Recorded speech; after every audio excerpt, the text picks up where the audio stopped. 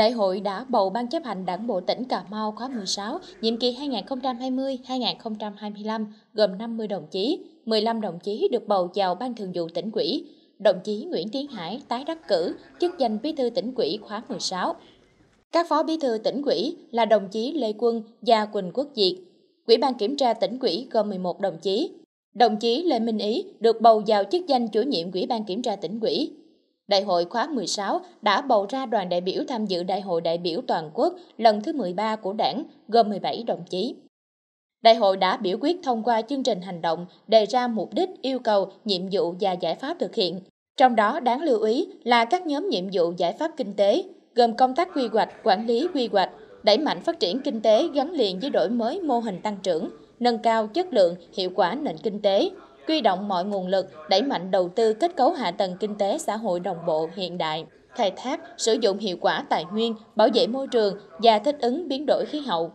Thực hiện tốt nhiệm vụ quản lý tài chính, ngân sách, tín dụng, các nhóm giải pháp nhiệm vụ về văn hóa xã hội, an ninh quốc phòng, trật tự an toàn xã hội, đối ngoại và hợp tác quốc tế, xây dựng hệ thống chính trị.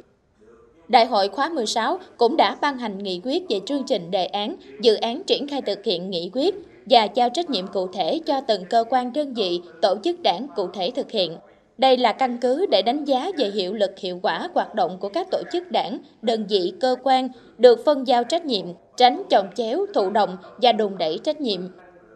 Đại hội trong ngày làm việc cuối cùng còn lắng nghe nhiều báo cáo tham luận chất lượng, tâm quyết của các đại biểu về dự. Tất cả đều tràn đầy niềm tin, thể hiện quyết tâm và nêu cao tinh thần đoàn kết kỷ luật kỷ cương của đảng để tiếp tục phấn đấu, xây dựng để Cà Mau phát triển đúng hướng, nhanh và bền vững, xứng đáng với sự kỳ vọng mong mỏi của đảng, của nhân dân. Ban chấp hành, Ban thường vụ tỉnh quỹ, thành viên Quỹ ban kiểm tra tỉnh quỹ và đoàn đại biểu dự đại hội đại biểu toàn quốc của đảng lần thứ 13 ra mắt tại đại hội. Đây là những đảng viên ưu tú nhất, đại diện cho ý chí, khát vọng, trí tệ của hơn 48.500 đảng viên trong toàn đảng bộ. Trong diễn văn bế mạc và lời hứa quyết tâm của Ban chấp hành khóa mới tại Đại hội khóa 16, Đảng bộ tỉnh Cà Mau, Bí thư tỉnh ủy Cà Mau Nguyễn Tiến Hải nhấn mạnh lại mục tiêu đưa Cà Mau phát triển nhanh, bền vững trong nhiệm kỳ 2020-2025 và chặng đường sắp tới.